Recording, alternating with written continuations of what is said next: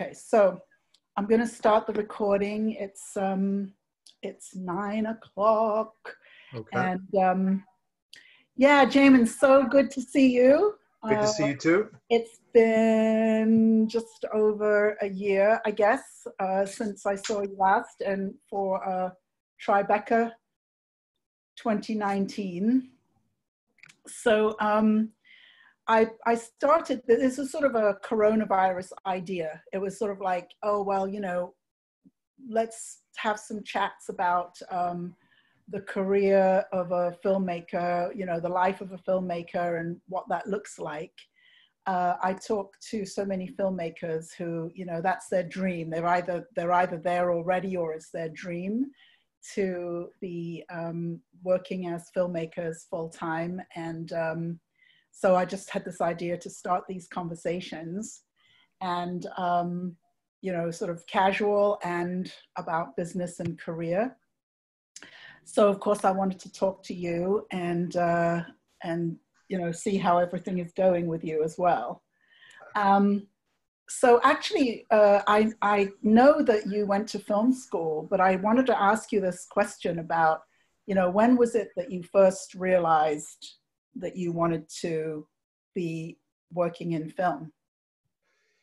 Yeah, for, for me it was uh, and good morning everybody. Um, it was it was and thanks for having me. Um, uh, me it was uh, I was actually um, studying um, English literature in Boston and I hated it because it was too cold since I'm from Miami. So I transferred and the one caveat was that um, I didn't lose any credits because my mom couldn't afford to pay any more schooling. And um, I was home in Miami for a little bit. My friend was at University of Miami Film School, and we went out to make. You know, he was making his first short, and he had no idea what to do, and I didn't know what to do, and I ended up making his film for him. So, um, so I ended up when I transferred, I transferred to UC Santa Barbara and became an English and film major. Mm. So um, I always say, like, you know, uh, I was on a plane to the Spirit Awards one year, and I was it was when JetBlue didn't have the Mint class before like JetBlue introduced the class or or a, a section. It was all you know one you know everybody had the same seats on JetBlue back then. And on the um, same aisle of me going to the Spirit Awards was um, John Sloss, the, the attorney producer in New York. And I, of course, was reading contracts the entire time, and he was reading scripts. And so I said to myself, well, why did I go to film school? I should have gone to law school, and then, you know, I could be reading scripts and he could be reading contracts. Um, because that's sort of how it works, right? You know, you know, your intent, of, of course, is to, to be creative and to, you know, create stuff and, you know, identify, you know, identifying the word filmmaker can be many things, but Yeah. the idea of telling a story. Um, and of course, I was, you know, reading cast agreements, and John Sloss was, you know, probably reading Boyhood at that time because it hadn't been made yet. But, um, but yeah, that's that's. Um, I don't think I ever knew that you had uh, that we were both English majors. Well, yeah, English lit and film. Yeah, and film. Yeah. yeah. I don't think anyone would have let me just pay for film school. So, um, but uh, but yeah, I went to UC Santa Barbara, which was mostly a, a, a history and analysis school, Mm. not a physical production school.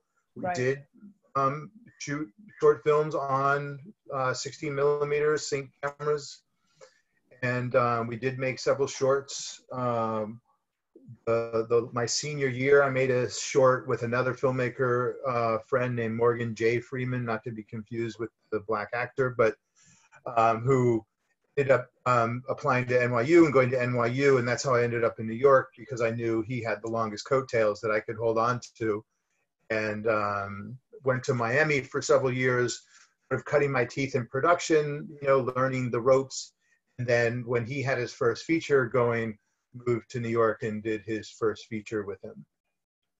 Yes, I remember the days in in Miami when you were, as you said, called it cutting your teeth in production. Yeah, Um, yeah. Is that sort of the path that most people go to uh, when they finish film school? you know, I, you know, I don't, I don't know how um, different it is now, but um, I think that's how a lot of people's path ends up. You, you, and I know, uh, you know, uh, there's a set dec- a former set decorator in New York who's now um, in a writer's room.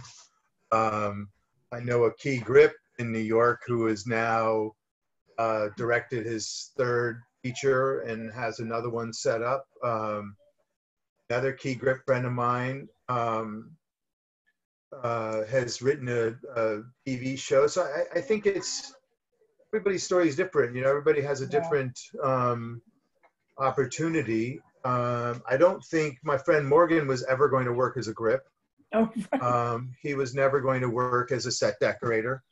But um, but for some of us, that's part of the path, you know. And uh-huh. and I think mine was more when we made that film in in in our senior year.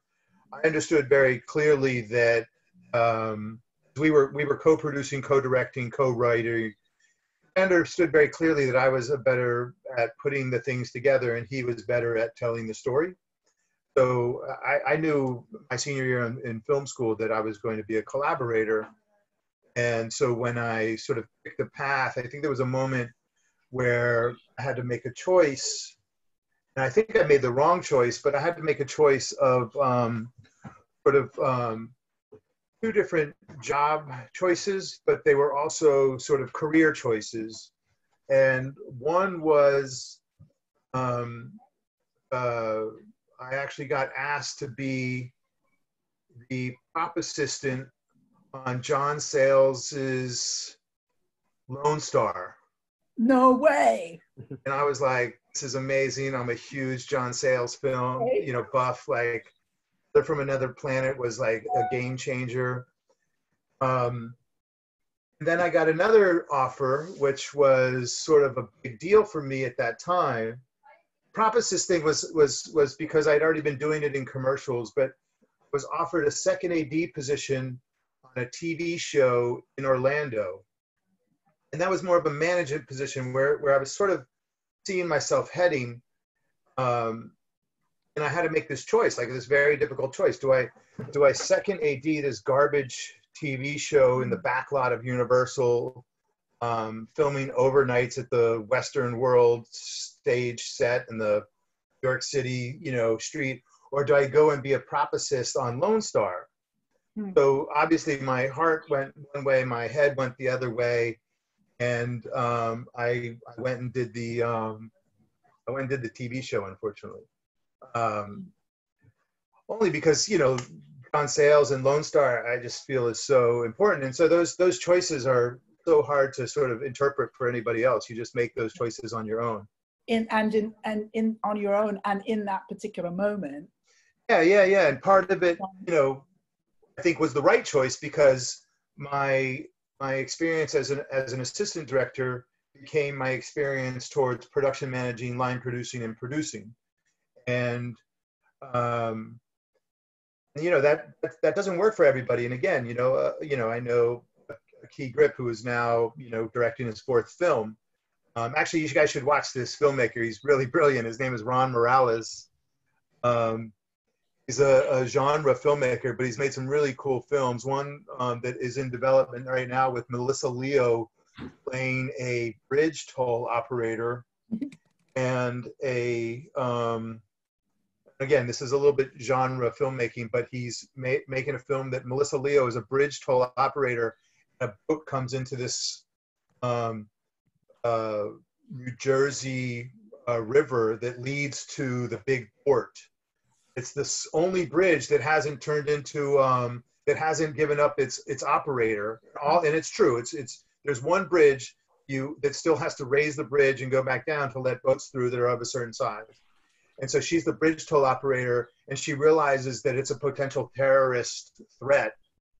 And so she's like the the anti-hero hero in this terrorist you know plot. Um, yeah, Ron Morales, who's you know credits, if you look him up on IMDb, his credits are all key grip credits, and then there's two director credits. Fantastic. So yeah. Fantastic. So it's interesting. You said that in your senior year, you realized you were more of, you used the word collaborator and you didn't use the word producer. So when did you realize that you were a producer? I mean, that that's the same term, isn't it? Okay. You know, I mean, Well, I think that's the same I've done it. term. Yeah. Yeah, I think that's the the place that you um you know, it's I think it's the middle child syndrome, you know, like you you um know who you are at some point and at that point I understood partly myself but also partly my friend Morgan who is just a genius and a very, you know, um cerebral creator. You know, he can he can spitball like there's no tomorrow. Um we actually just hung up. So he and I are still collaborating together. We're actually Fantastic. producing a TV show together right now. I mean, we literally, I had to hang up early because we had to start early, but well, that's because he started late because he was, he's still, you know, sort of, you know, Joe Morgan. the existential malaise is still very, very clear. And, and, um, yeah, and I don't want to be a creator. They suffer way too much, you know, like they suffer so much. I mean, he's like, they're drinking coffee and it's 11 a.m. I'm like, you all right? He's like, I didn't sleep. I was like, yeah, yeah, exactly. Um, but uh, yeah, the um, the uh, collaborator producer was just natural, you know, and, and I knew it then. I knew it as a, in, in my senior year, and I also, again, I knew that Morgan had a creative thing that I didn't have, so I sort of, you know, grabbed his coattails. But it was it was more of a friendship than grabbing coattails. But it was, it, I did know that he had coattails, you know, like I, Yeah, I was yeah. conscious, and and I do think that that you know, and I don't know if the group are more producers, directors, writers, whatever.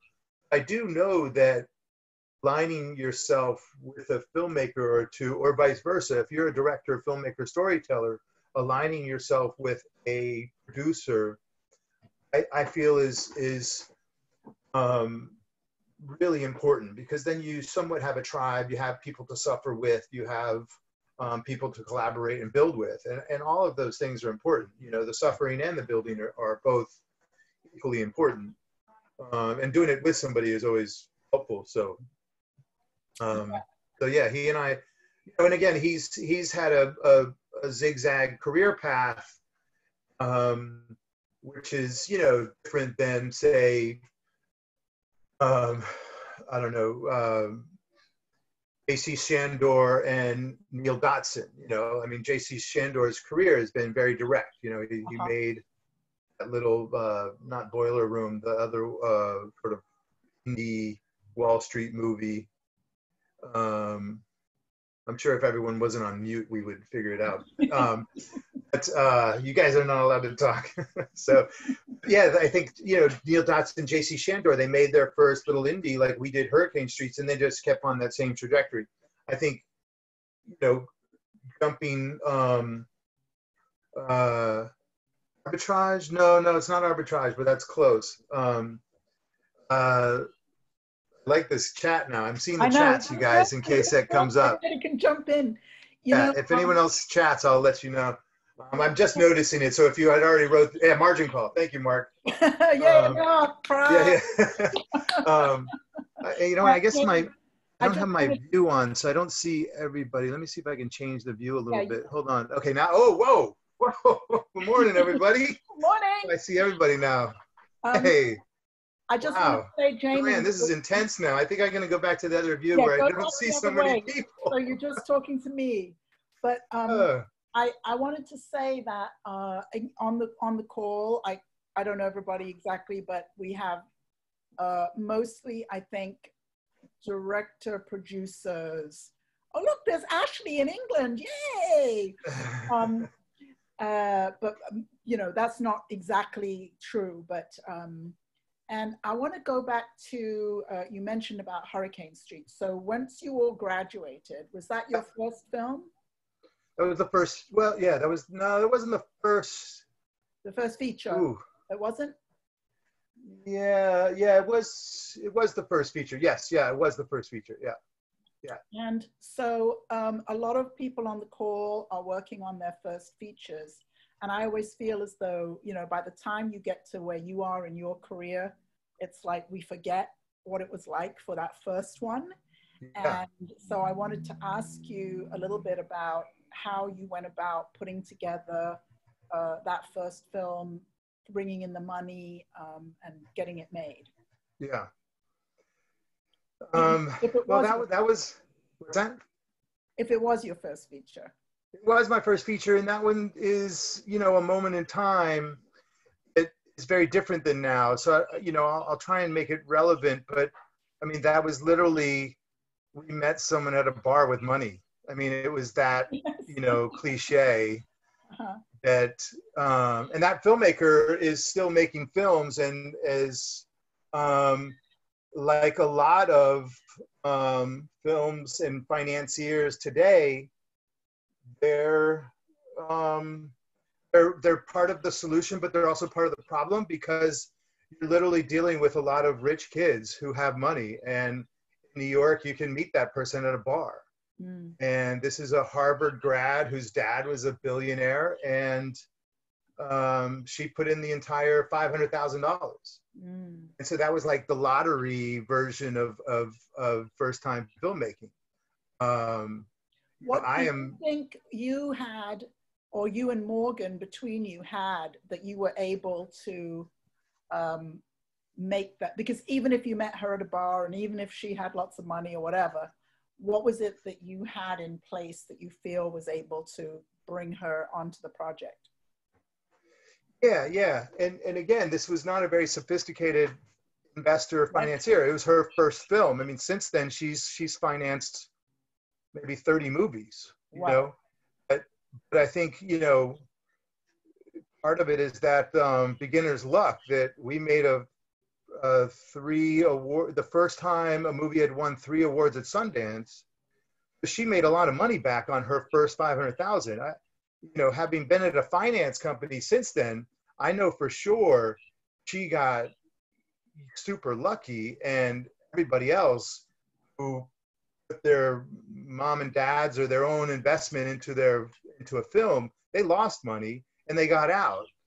She got tricked into making money and a lot of money the first time out and stayed in for 30 more movies.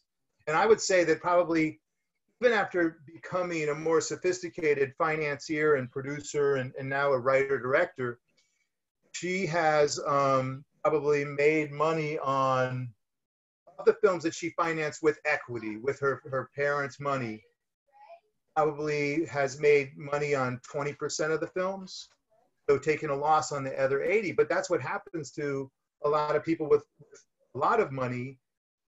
If you make money on the first one, you're in for for pretty more movies because that first one was the exception. So great, you know. There's a lot of other good films that got made because of that that Hurricane Street's investment in that story, but um, but again, this is this is going back to the, the the the exact same problem that we have today, which is we in the independent film space we rely on private equity, and most of that private equity is coming from a very privileged, uh, you know, uh, perspective that doesn't tell all the stories that need to get told. So Hurricane Street, which you know is a very East Village, New York coming of age um, which I think had a, a, a, good perspective for the world at that time. Mm-hmm. I think we've narrowed even more than then what stories are getting ta- play, uh, told because of the scope of the money that's out there Mm. is a lot of um, private equity that came from wealthy money, you know, wealthy families and, and investors. And, and that doesn't mean that um, uh, what, uh, I'm going to look at chat because someone's going to have the answer to this. Um, Black Bear, um, Ben Schwartzman's company. His dad is like, like the biggest Wall Street. You know, you're recording this. Yes. Okay, so I'm going to watch my what I Yes. say. Be careful So- what you say. We can only tell stories that you know. I mean, you know, the the the. It's not like that. Ben Ben is making really great films. He, he he's he's made some in, incredible. Uh, sorry, Teddy Schwarzman. Sorry, Teddy Schwarzman has made some great films, inclu- including the the Robert Redford film, um, Lost at Sea. No, um, uh, I'm such a bad name dropper. Come on, guys. Alone at Robert sea. Redford, Out in the Ocean. Alone at sea. No. No. All is lost. Thank you. All is lost. Thank you, Kip. Hey, All is lost. that was Mark again. Oh no, no, it was Kip. Kip was Kip was ahead of Mark. Kip was ahead of Mark. Kip was ahead. Oh yeah. it was Um, Kip. Okay, Kip. Oh yeah, same directors. Martin, look, I'm, I'm like a J.C. Chandor fan, aren't I? Yeah. So All Is Lost was made by um, Teddy Schwarzman, which is a great, great film. Um, and and Teddy Schwarzman, but Teddy Schwarzman's dad is like the owner of Blackstone, or or you know, like the, like one of the biggest hedge funds in the world, right? Like like he could actually change global warming if he wanted to, you know, like.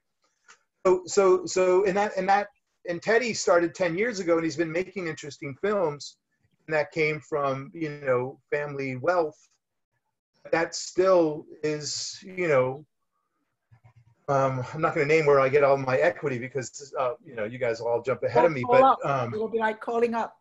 Jamin sent us.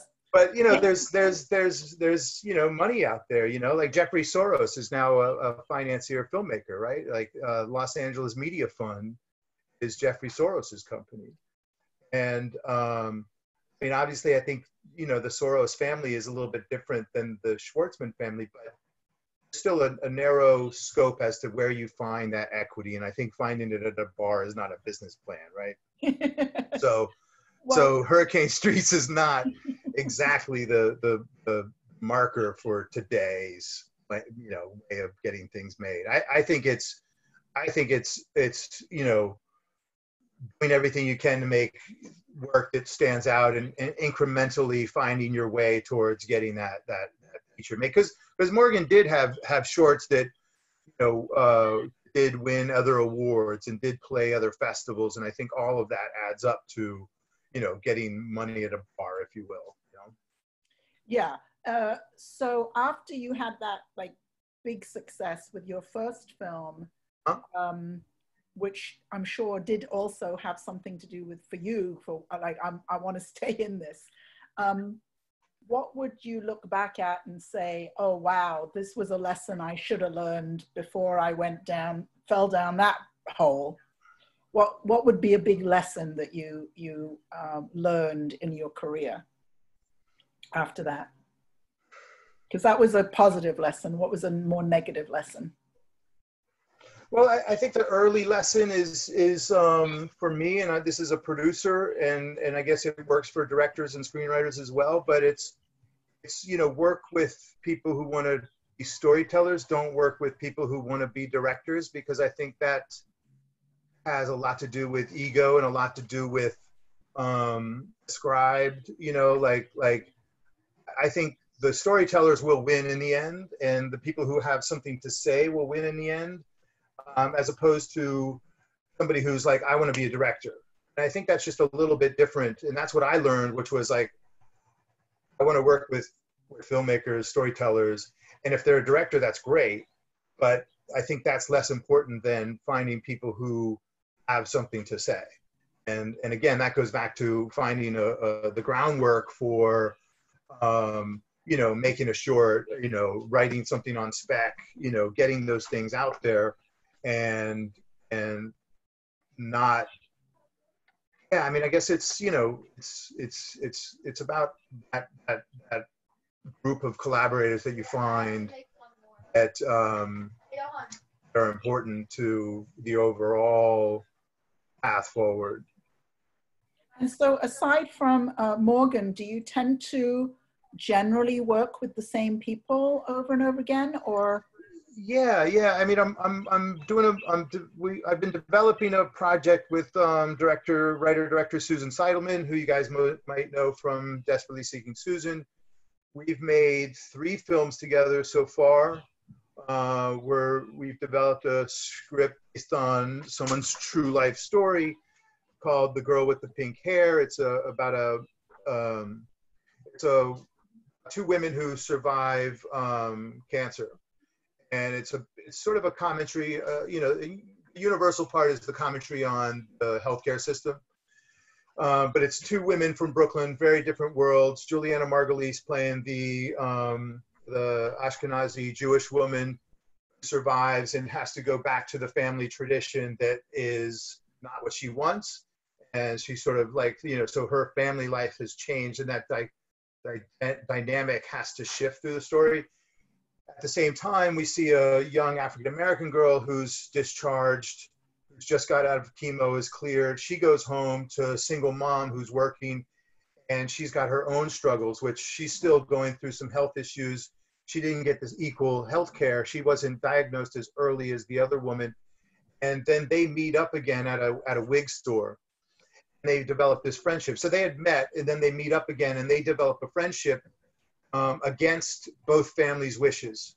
So, you know, the, the young woman's mom is suspicious of this friendship and the other woman's family is suspicious of this friendship, but the friendship is more important than the family's wishes them to return to normalcy and that's that's um, uh, that's a, a project uh, called The Girl with the Pink Hair that I'm doing with Susan, which will be our fourth film together. So, but yeah, again, uh, you know, those collaborators are super important. Um, uh, so one of, think, one of the things that I would like to ask you to talk about a little bit is I'm, I'm always talking with my clients about uh, business models or what you call um, that less sophisticated version of financing as opposed mm-hmm. to what you do now, now that you're on film feature number, I don't know what it is. Do you know what it is, by the way? No. It's about 20 or something like that.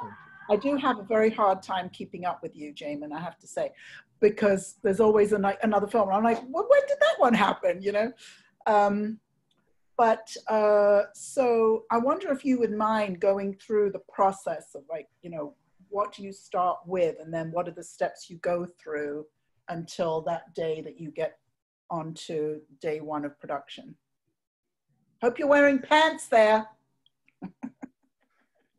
um, do, do, you mean from from like give me the perspective again so I understand? Uh, just the perspective of um, you know uh, the I think what you would call financing, but one of the things that I'm always I'm always using you as an example of is that when people are making their first feature and they they're sort of aiming for a number that uh, seems really too high for me, I always go back to the the business model that you're using, which is that your films are always based on uh, you're bringing in A-list actors who can guarantee or generate a certain return on investment. And that's really what that's based on. You know, a lot of times I'll talk to filmmakers and they'll be like, well, it's all about this, you know, my script is really good. And I'm like, no, that's that's not the business. That's not how you're going to get the financing. But the script is really good. That could help. Yeah, yeah. I mean, it's it's it's it's you know a lot of times you know writers, um, uh, early career writers are also first time directors, so that conundrum has to you know figure itself out. Um, for a writer who does not have an agent and access, that has to work itself out. And then on a producer level, you um, you have to work with what you have and and and sometimes as a as a as a as a as a producer who's working on many different things you then at some point do have to back into a number. And that's even you know when you have like this film i was telling you about that got put on pause um which, which uh, just hit me with a, a, a time for a phone call you guys. Um I'll let you know what it is real quick. Hold on one second. Um, it's at 10:30 Pacific, so we're okay. Um, so this this film I was doing with uh, Chiwetel Ejiofor um, directing and starring, oh. um, uh, called the, the Short and Tragic Life of Rob Peace. Chiwetel um, uh, under, he did not want to be in the movie he understood that him attaching himself to the movie raised the budget of the movie. Right. Then we cast Stephan James, the guy from If Beale Street Could Talk. Oh yeah. So with the two of them, we also cast one other actor, but it, it, it's not been announced in the trade, so I don't think I, I can announce it here. Um, I'm sure one of you would leak it to Deadline.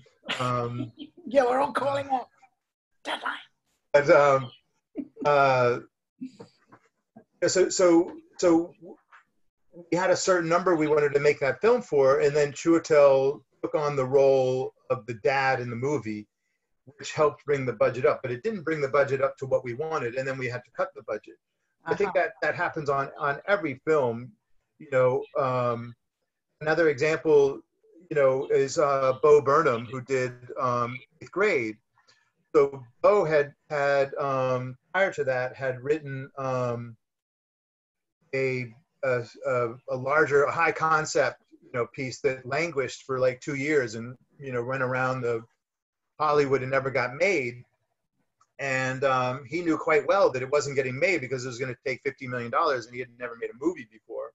Mm-hmm. We said, "Oh, I'm going to going to write something that can get made," and he wrote Eighth Grade, which obviously um, is is quite contained in, in, in size and scope. It's it's a it's a coming of age you know, if, if any of you have seen it, you know that it's um, a young girl and her dad um, at home, at school, at the mall, and at a party, and that's and almost it.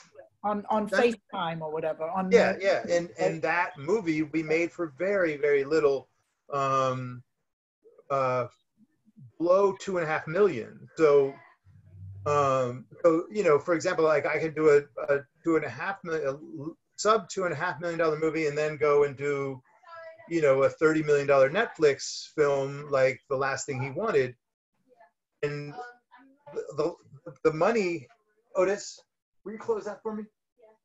The, the money isn't um, is never enough, right? Like even on the last thing he wanted, we we wanted more money than thirty million. Um, so so the money is never enough it's, it's more like you have to understand what the value is and as a first time filmmaker a young filmmaker without awards and without you know Rees, who had already been nominated for you know a screenplay for best adaptation and with those actors you know you're not making a 30 million dollar movie with the same time with bo you know making a two and a half which may be more practical for this group still a matter of what sources do you have, you know? And in that case, um, he had some um, resources for money, his own being a little bit, not a lot. He, he, he, was not, you know, making Netflix specials by then. He did have some, and this, this is where eighth grade doesn't totally fit the model because he ended up getting Scott Rudin on as a producer, and they funded it with Barry Diller. But at one point it was going to be a little bit of friends and family money and then go and have a sales agent come on board and use the New York tax credit. It was those three things which were going to become the overall budget, which was uh, unfortunately only you know this this amount of two and a half million because I think once Scott Rudin was involved, it obviously um, stayed at the same budget um, it, it, it was it was had distribution already in place at that point. Obviously, those are, are are difficult things to come by. I don't think Scott Rudin reads a lot of scripts before they've already made it through many different channels. Mm, right. But, um, uh, maybe more appropriate is is a film that I did called Chronically Metropolitan, which is a, a first-time filmmaker named Javier Manrique, and we were trying to make that as a two million dollar movie and we had Ashley Benson and Shiloh Fernandez attached in the leads. Making a non-union movie in New York is very difficult, or at least for me, it's difficult because it, you know, the unions are very strong here, and I'm sort of a known, you know, producer, so doing something against them is difficult. We ended up doing a non-union movie, which we wanted to make for two million. We ended up making it for about 1.2. That was a combination of New York tax credit, friends and family money, um, and some uh, uh, international sales, what we call gap money, a loan from a from a lender. um, again, that's a little bit sophisticated. It did mean the same thing that we all go through, which is, you know, you understand how much, whatever you want to call it, friends and family money you can raise, how much money we could get from the New York tax credit. And I know you guys have a hard time in California because tax credit is almost exclusively limited to the larger films because they look at it as a benefit for the larger state and the larger economy, um, which is really unfortunate because New York is actually mimicking that right now. They're actually eliminating, they've eliminated $500,000 movies in the, oh, no, sorry, million dollar movies. The, the New York tax credit just changed April 1. And prior to April 1, tax you you would qualify for the New York tax credit if you spent over a million, um, and they reduced that um, uh, they, they increased that spend to 2 million now.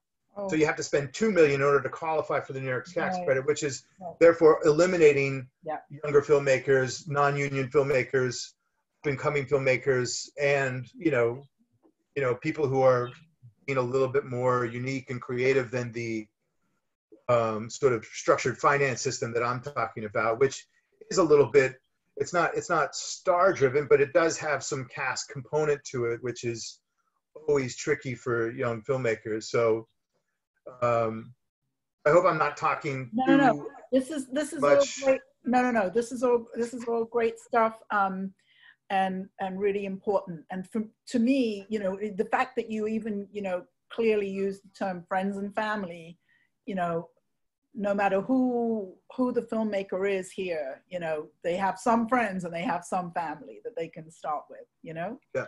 So um no i think that's really significant. And one of the things I, I specifically wanted to ask you was that i'm seeing these days that you are being listed as an executive producer a lot as opposed to being a producer and i wondered if you could talk a little bit about that and um, what what that means and how that's working in your career. Yeah. Um, so just just in the in the Scott Rudin example, the eighth grade example, um, you can imagine he doesn't go to set much. so, um, so Scott, I don't think in the entire production, I don't think we saw Scott um, except for one time at a meeting at his office, two months prior to shooting, one time during casting, and then in the edit. And um, the other producers, Chris Storer, who's a filmmaker himself, is a very good friend of Bo's, was on set with us every day, but he'd never made a movie before. Um, I think the other person in Scott's office, Eli Bush, who's credited as a producer, came to set one time at this point, I'm sort of a gun for hire line producer, but with more duties because there are no producers on set. So this is sort of when you're working the capacity that I was with Scott Rudin. You know, he is the formidable producer there who brought in the financing. He's not in a he's not a day-to-day trenches person. Right. So instead of taking a line producer credit, because I'm having more responsibility and more creative collaboration with the director, it's an executive producer credit. Oh, um, I, I, almost was thinking of it as being in the opposite direction, you know, that, huh? but, it, but I knew that that wasn't the case. That's why I wanted to ask you the question. I was Scott was there every day and I was in my office? No, no, that, that, that uh, with an executive producer credit that you were less hands-on oh, okay. Well, that, that is the case. I mean, there's a there's a film that I just did called The Birthday Cake, um, which I think is a good film for everybody to check out. Um, it's it's um, it's not out yet, but I was uh, you know again I served as an executive producer and I was on set one day, so I was Scott Rudin on that project. Uh-huh. Um, and that was because I helped put the pieces together from my office. I wasn't there on a day-to-day basis I took almost zero fee because it's a friend's first film. Maybe this is a very good, relevant conversation here. Is so this was a friend's first film, and he had written a script with a with a musician and director uh, named Jimmy Giannopoulos. Jimmy was a music is a musician, and he and Zoe Kravitz are in a band together. I think it's called Lola Verses or something like that. Um, free budget for anyone who can name the band in five seconds. Free what? A free budget for anybody who can. All right, no one nested. So, um, uh, Talk, what's up? so, um, so Jimmy and Zoe were in a band together for years. They put out a couple of albums, and Jimmy met every young actor in the world through Zoe. So he put together a script um, with this friend of mine, Raul, uh, who wrote it with him. And then they just started casting Jimmy's friends. At one point, they had, um, uh, again, this kid, Shiloh Fernandez, and who was the other uh, early cast? Uh, Ashley Benson. Um, and just relationships, you know, relationships is what this story is really about. Raul had come on to this movie, Chronicle of the Metropolitan, that I had um, written um, and met Shiloh and Ashley, stayed friendly with them. Um, Jimmy brought in some actors that he had known from, from Zoe Kravitz. And uh, they ended up, you know, finding some friends and family money and then saying, Jamin, we want to film this. We need to help, need help putting it together. So I came on as an executive producer and I literally was you know, producing from my home. Um, they offered me a producer credit, and I actually told them I don't want a producer credit because I feel a producer is. Um, well, I felt like if I was a producer, I would have to give too much commitment.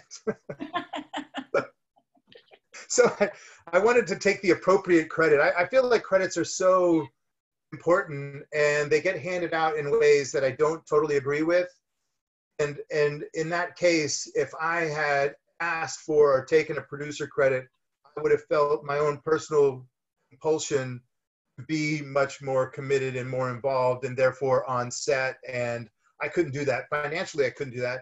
There wasn't enough money for people to make a living on that movie, not for myself. Now, Raul, who was a producer, and another producer named Sienna Oberman, were there every day Mm-hmm. and day in and day out for six months. They're still there every day, except for remotely doing an edit.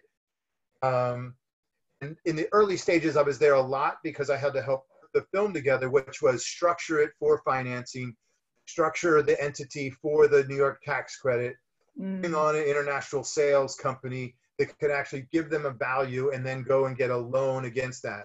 Uh, in the end, didn't actually get a loan. They actually got a private equity um, person to come in and and uh, invest in it as um, which is which is better than getting a loan because then you don't owe, owe all of those finance fees. I mean, you know, me it's if you know it's if you have two hundred thousand, go out and make it. So th- so there's another film on my IMDb page called Wheels. Huh. Uh, again, listed as an executive producer credit. Um, this is a friend from undergrad who I think spent 50 grand of his own money um, and then um, made the rest on credit cards. And I was an executive producer and I was literally, I mean, I was on set like maybe three times, just visit and to see how it's going. But he'd written that script eight years ago. It's just now um, and bought by um, the the Orchard, which is now known as 1091. Hmm. Um, a lot of these, you know, I think the most famous aggregate uh, aggregator is um, the, not maybe not the most famous, but the one that's been doing it as a business model the longest is Gravitas. Mm-hmm. Gravitas has been around for years, and you know they're buying 20 movies uh, a month and putting them out.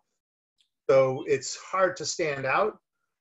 Um, but you know there are outlets for these films. So Wheels is another good example where I was exec producing on a friend's film in order to guide them in certain places that is different than the storytelling physical production part which i think a lot of people have enough exposure and knowledge of to do themselves so developing a story writing a screenplay a lot of people have learned that either on their own or with their collaborators going out and shooting something has also been done widely. I mean, the the the, the access to equipment and and the possibilities are so much more prevalent.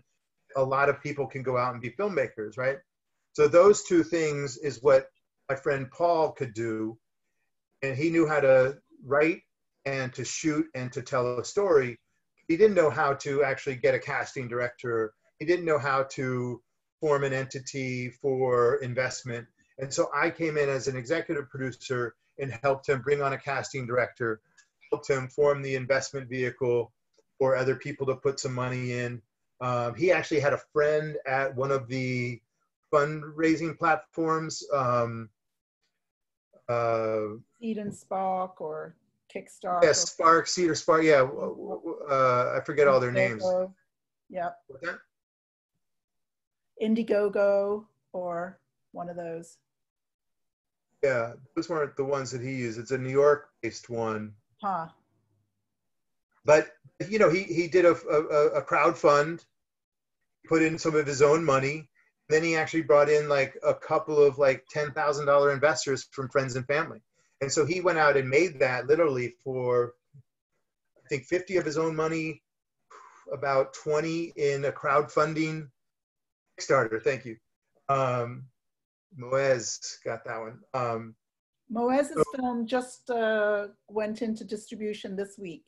Oh yeah, who's putting it out? By Indie Rights. Indie Rights, great, congrats. Yeah. Um, so so 50,000 of his own money, about 20,000 in um, in uh, Kickstarter, and then about another 20 to 30 in friends and family money.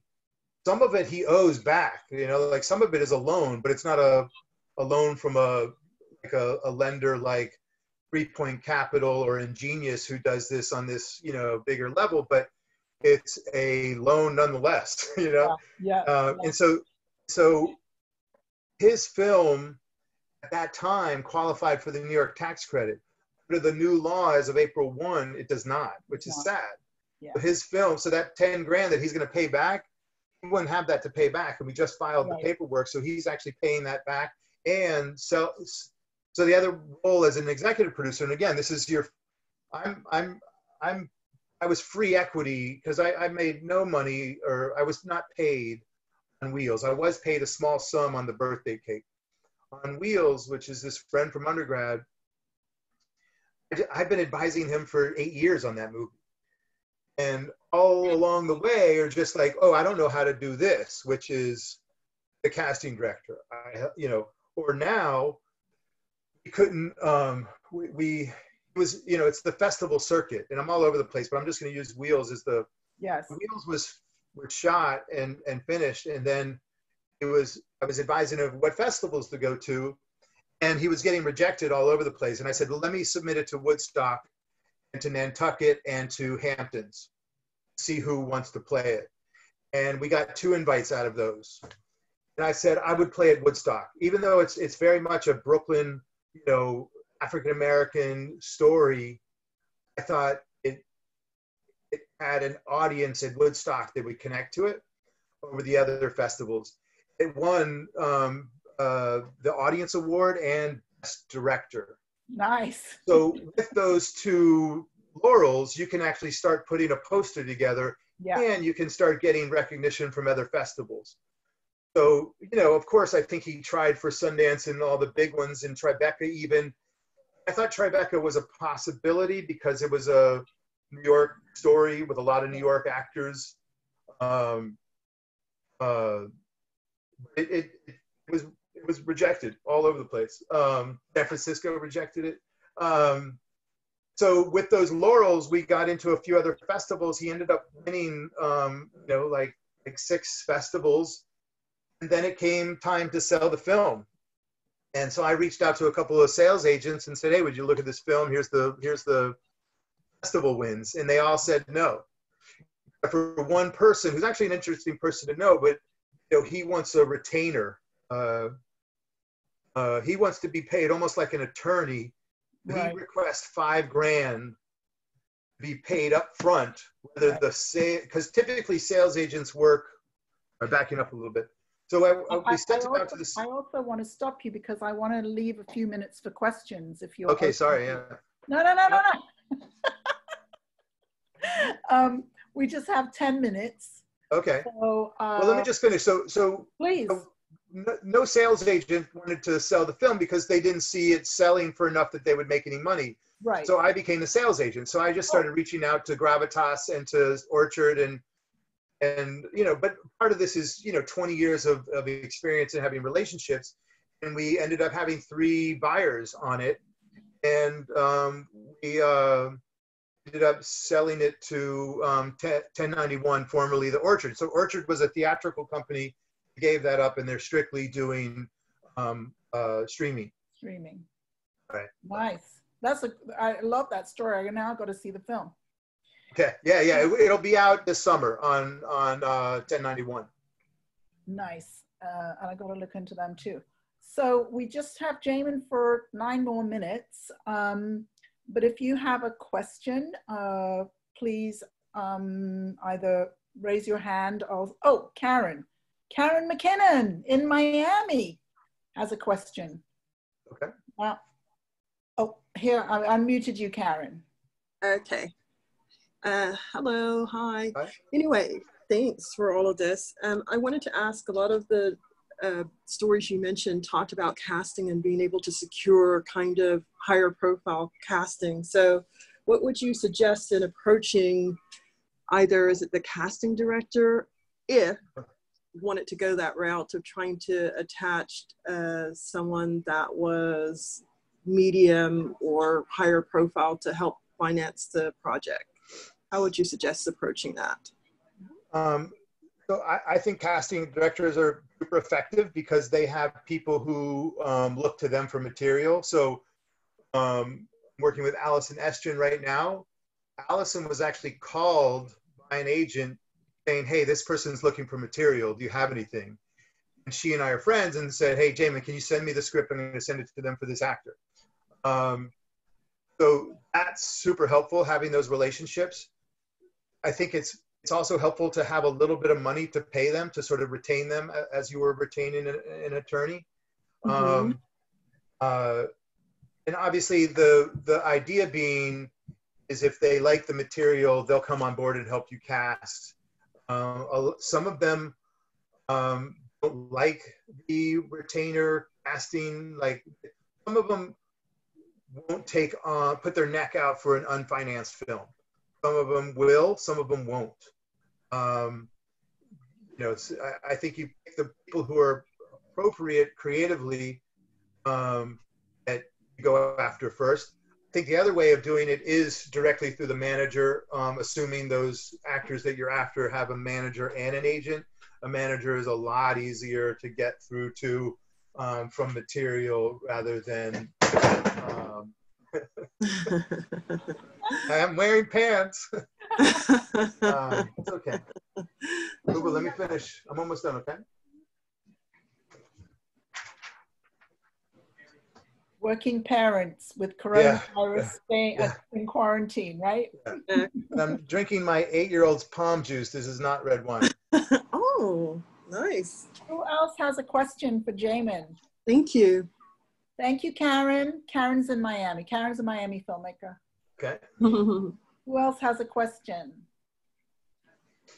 You may have to raise, you can raise your hand electronically or you can raise your hand physically. Well, I guess nobody has any Hi, questions. my name is Elizabeth. Oh, oh, okay. Hi. And then Rolf. I just have one quick question. Yeah. What would be your, um, I guess I want to be a producer and I'm still kind of new at this and I'm a young filmmaker.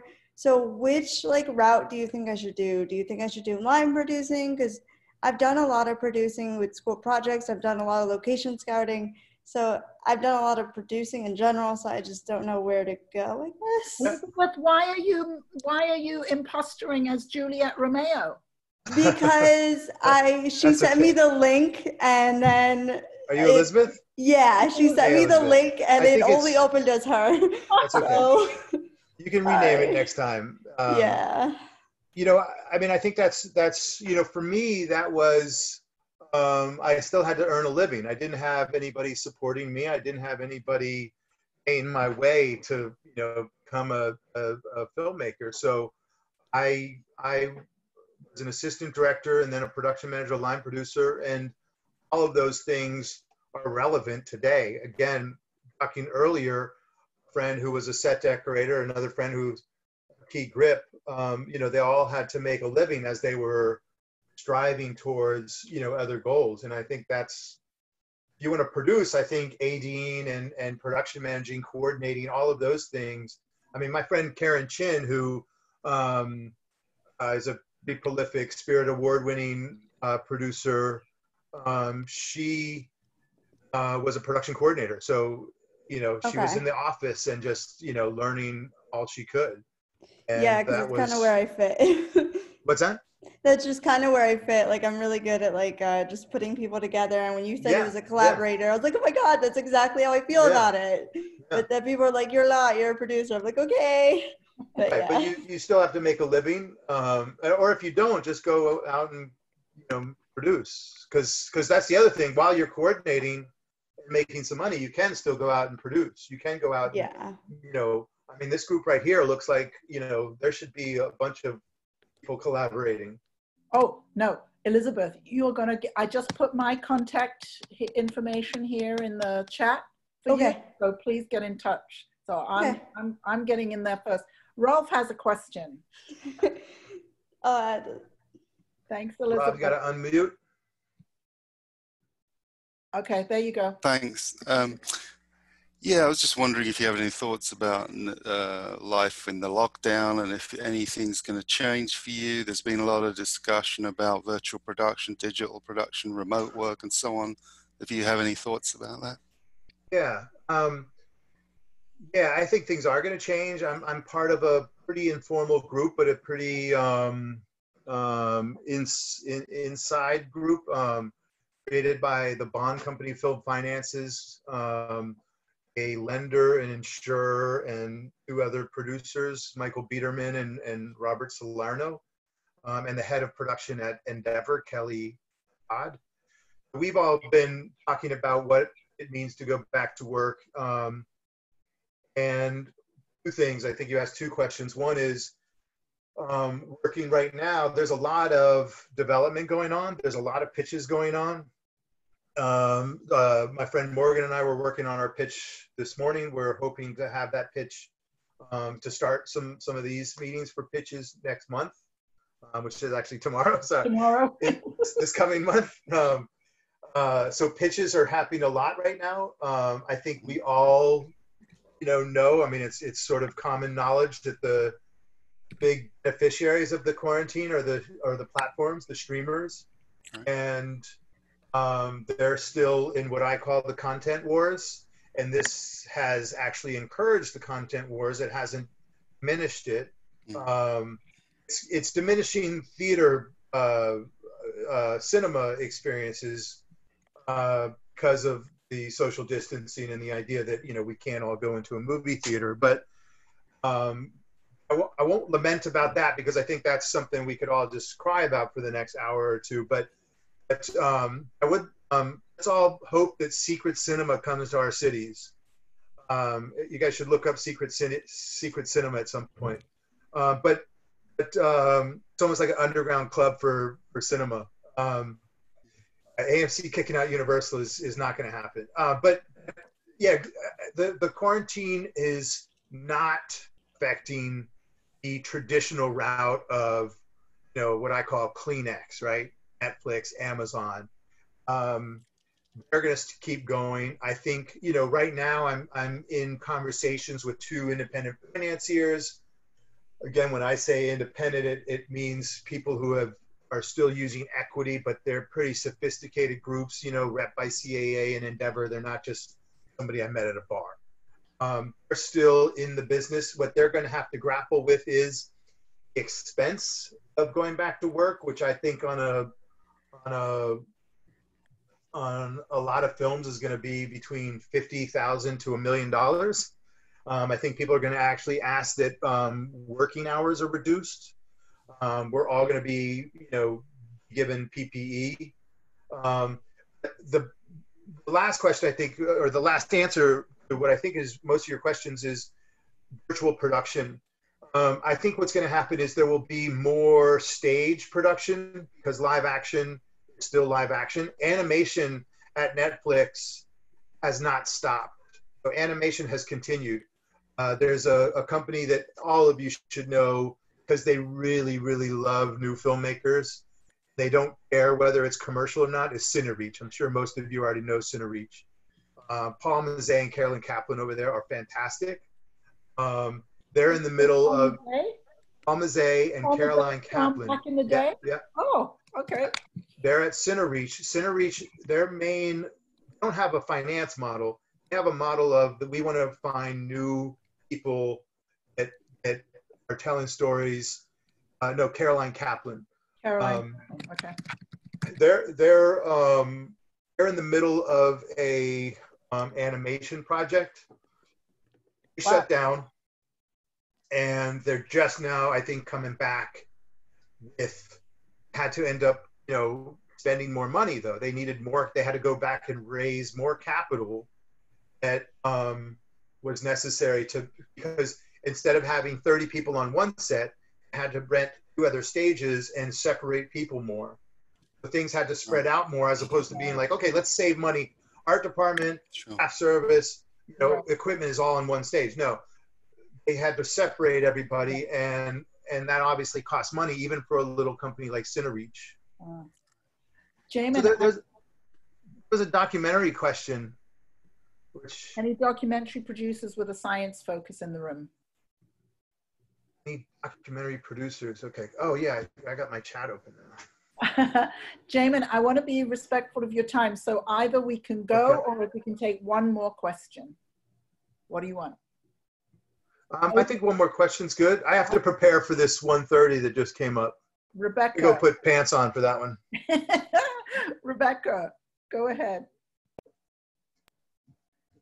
Hi. Oh, perfect. Um, so I've been producing this film. Uh, unfortunately, we're in post production right now and starting marketing. We don't have name actors attached to it. However, the acting is really good. I have a possibility to get name musicians and name composers attached to it. Do you think I should try to lead some of the marketing with those if they're on the A list level? Or Yeah, I mean, I think all of the, you know, tell me if I'm wrong, but festival platform is probably a place for you to go, one of the routes for you to go. And I think the festival programmers, you know, if they see, you know, Dinklin Hinkloff on a credit, they're going to go, oh, wow, Dinklin, you know, made this. That's, you know, if they see Teddy Shapiro, they're going to go, oh, Teddy Shapiro, you know. okay. Um, so yeah, I, I think that composer could make a big difference um, to get somebody's interest because they look at the billing block and they don't know anybody, but oh, composer sticks out 100%. Uh, and, and that composer, almost like casting director conversation, casting director coming on board gives you a third party endorsement. And so when the agents Mm, see Allison Estrin, go, oh wait, Allison likes this. It's got to be good. She's never, you know, she's not doing crap besides billions, but whatever. Um, someone's gonna make a living. um, yeah, if they see Allison Estrin or, you know, I can't pronounce that guy's name, Dinklin Hitkoff.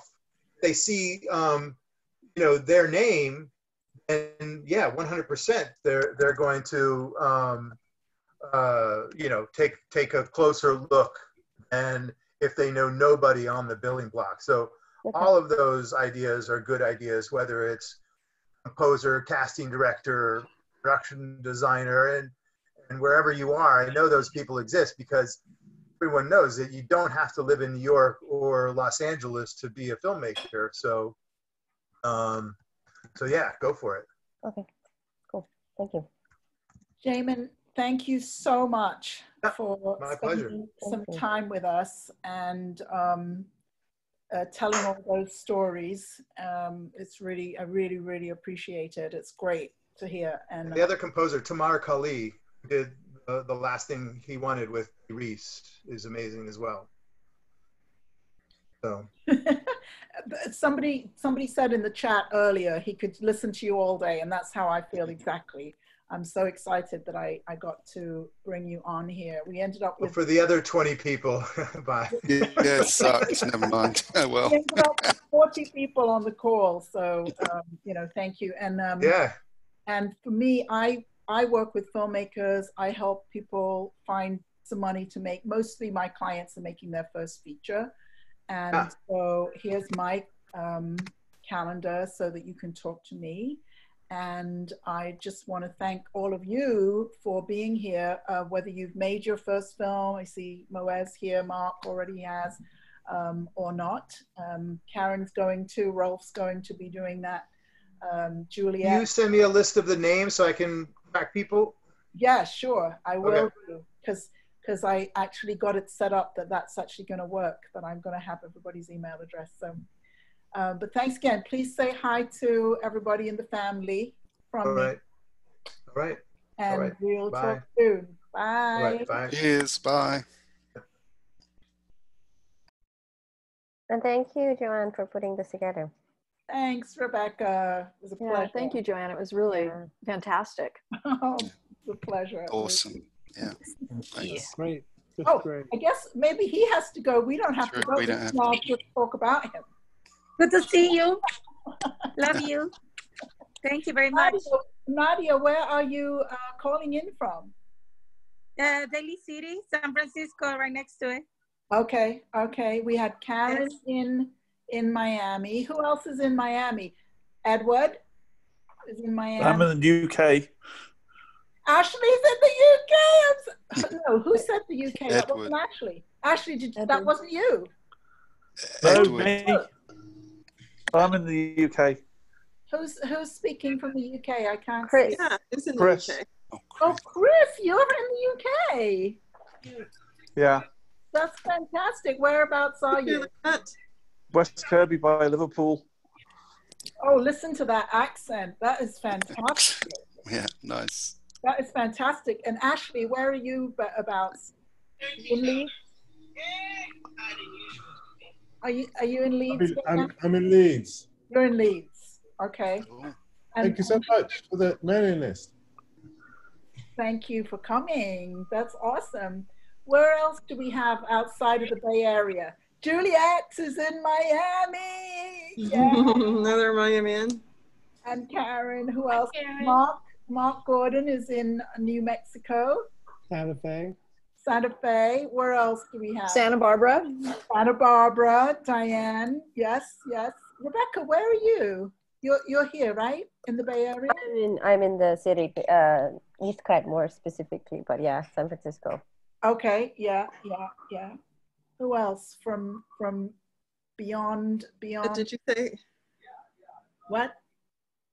What Karen? Oh, I was just looking at. Did someone said New Jersey? Was New Jersey. Oh, Juliet, what are you doing in New Jersey? Oh, can't hear you. Can't hear you. Not Juliet, Liz. Sorry, I still kind of. Uh, oh, that's right. That that keeps. Yes, it's Yeah. masquerading as Juliet. Yeah. Oops. Sorry about that. I couldn't fix it. not at all. Not at all. However you got here is fine. Alberta's Alberta's in calling in from Trinidad and Tobago. Yes. I ha- have to go. Yes. Good afternoon, Oh, thank, everyone. thank you, you guys. It was absolutely amazing. Thank Oh, you, Joanne. Thank you. Thank you. It was it was so incredibly valuable. great. Joanne. great. All right. Well, we'll go for sure. And and I I really do work with filmmakers making mostly with filmmakers making their first feature. Um, and so please uh, set up a time to talk to me. I would love to meet you and um, find out what you're doing um, with your films. And by the way, uh, anybody who signed up for this, I made an error because I was looking forward to doing a, a Thursday weekly uh, talk with us, and I'm starting with like the people that I'm closest to and who I know that I normally, without quarantine, they, they'd be on set somewhere and whatever. So, but my very next person can't do next Thursday, so I can't do a recurring series, and I'm going to have to reset everything. So if you've signed up for next Thursday's talk, which is actually going to be on Tuesday with Ben Vanderveen, um, I'm probably going to have to cancel all of that and start all over again. So just so you know, I'm having a little a little technology challenge because my my my idea, brilliant idea of meeting once a week, um, is not going to on the same time every week is not going to work. No Chris, did, how did you hear about this? Chris, Chris in Kirby. I heard about it. Um, I think it was on Twitter, maybe. Twitter. Oh, yeah, yeah, yeah, yeah, yeah. Yep. Because I'm girl- always looking out for things. right. I'm What so do you do, Chris? Chris? What do you do? I'm a writer. Oh, cool. Nice. I'm an expat. I'm a Brit in the Bay Area. So. I now have to jump off. Now I'm late for something. So I'm going to have to go. But so good to Well, see thanks you for all. everything, so everyone. glad you enjoyed Thank it. all you. as Nice meeting as I everyone. did. Bye. so glad. Bye-bye. Lovely Bye. to meet you all. Bye. Bye. Bye.